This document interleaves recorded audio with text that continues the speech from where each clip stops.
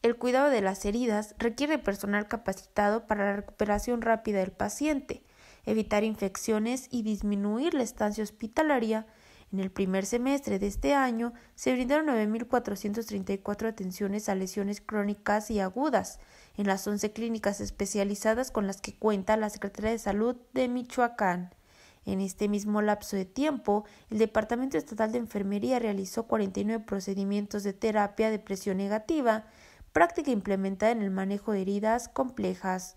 Al considerarse un problema de salud pública en México, el personal de enfermería efectúa prácticas seguras a pacientes con pie diabético, quemaduras, úlceras venosas, úlceras por presión y heridas traumáticas por accidente.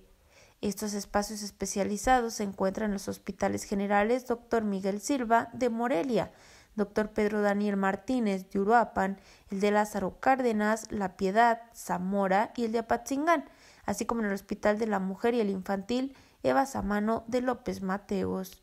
Los centros de salud de Guacamayas, de Uruapan y el de Zamora también cuentan con esta área de atención para las familias michoacanas que así lo requieran siempre con un trato con calidad y calidez.